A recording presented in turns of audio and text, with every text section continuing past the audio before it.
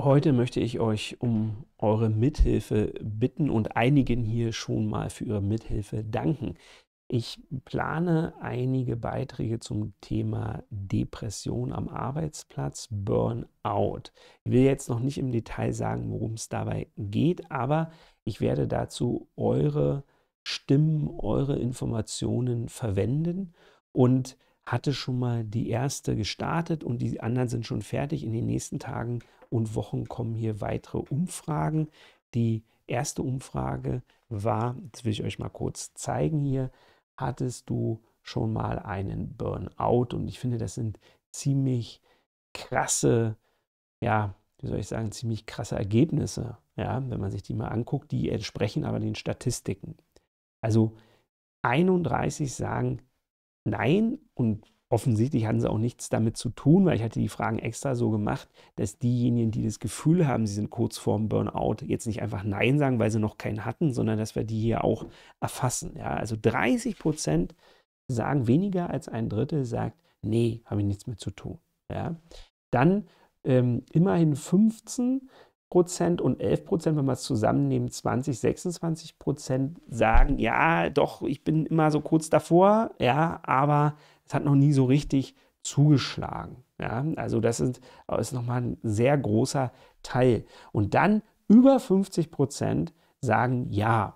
Und da hatte ich nochmal nachgefragt, wie viele sich in ärztliche Behandlung begeben haben. Und das ist ein ganz interessanter Unterschied hier.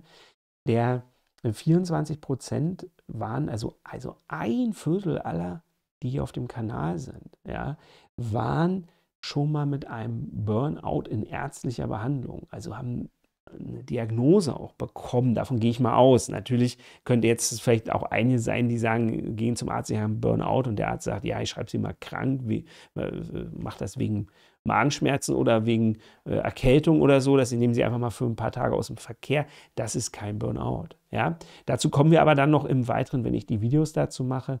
Ähm, und diejenigen, die jetzt sagen, die 20 Prozent, die sagen, ja, ohne ärztliche Behandlung, da muss ich sagen, gibt es nur zwei Varianten. Entweder das ist extrem fahrlässig, was ihr macht, oder ihr hattet keinen echten Burnout. Ja? Auch dazu komme ich nochmal in den Videos. Es ist meines Erachtens so, dass jedem Burnout im Prinzip einer Depression zugrunde liegt. Das heißt, das, was viele als, als eine Arbeitsüberlastung ansehen, ist kein Burnout. Ja, auch nicht in Hinblick auf diesen Burnout, hatte, hatte hier auch jemand in den Kommentaren geschrieben hier, ach ja genau, das ist hier gleich, kann ich gleich nochmal einblenden.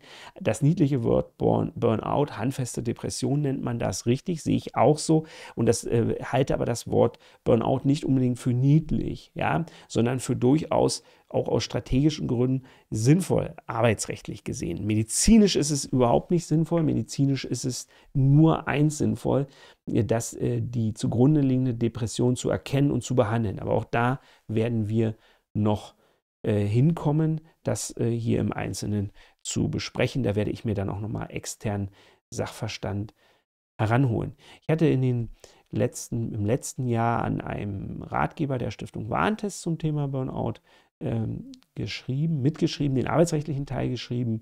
Ähm, dazu werde ich dann, darauf werde ich dann auch nochmal kommen. Jetzt möchte ich euch einfach bitten, euch äh, auf dem Fernsehanwalt-Kanal an den Umfragen zu beteiligen. Hier ist auch nochmal unten ein Link auf diese Umfrage und ich werde in den, nächsten Wochen die entsprechenden Auswertungen vornehmen, werde meine Erkenntnisse, die ich euch präsentieren will, nochmal ein bisschen anpassen an die äh, Erkenntnisse hier aus den Umfragen, also ganz konkret an eure Probleme. Und ihr werdet auch in, bei den nächsten Umfragen so ein bisschen erkennen, dass ich die, dass diese Thematik nochmal von verschiedenen Seiten etwas einkreise. Man hat ja hier immer nur, äh, glaube fünf oder sechs Alternativen. Ja, die treffen es dann nicht. Ich muss mich da mal so ein bisschen entscheiden. Andersrum zwingt mich das aber auch äh, zu versuchen, das Ganze zu auf den Punkt zu bringen. Wenn ihr noch Fragen habt in dem Zusammenhang, würde ich euch bitten, die Fragen unten in die Kommentare zu bringen. Burnout, Depression, psychische Erkrankungen und Arbeitsverhältnis. All die rechtlichen Fragen zu rechtlichen Dingen könnt ihr unten in die Kommentare schreiben und ich werde auch dazu dann entsprechende Videos hier in den nächsten Wochen veröffentlichen. Das ist jetzt kein sehr schönes Thema, ist ein sehr belastendes Thema für alle Beteiligten. Äh, wenn du schon eine Kündigung oder einen Aufhebungsvertrag hast, kannst du deutschlandweit anrufen. Und wenn du jetzt vielleicht Arbeitgeber bist und sagst, ja, ich habe verschiedene Mitarbeiter mit psychischen Erkrankungen, äh, Burnout höre ich auch immer öfter, was kann ich da tun? Ähm, wir haben ja auch einen Arbeitgeber-Coaching-Kanal. Dort werde ich auch in den nächsten Wochen entsprechende äh, Videos aus Chefsicht sozusagen veröffentlichen.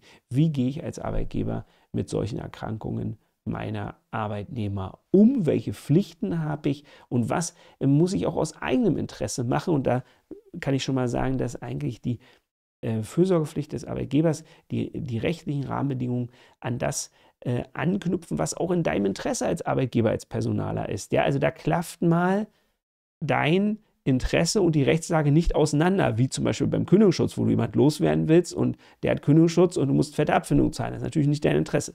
Dort ist es für Arbeitgeber einfacher und deswegen umso wichtiger, dass man da äh, die Kenntnisse hat.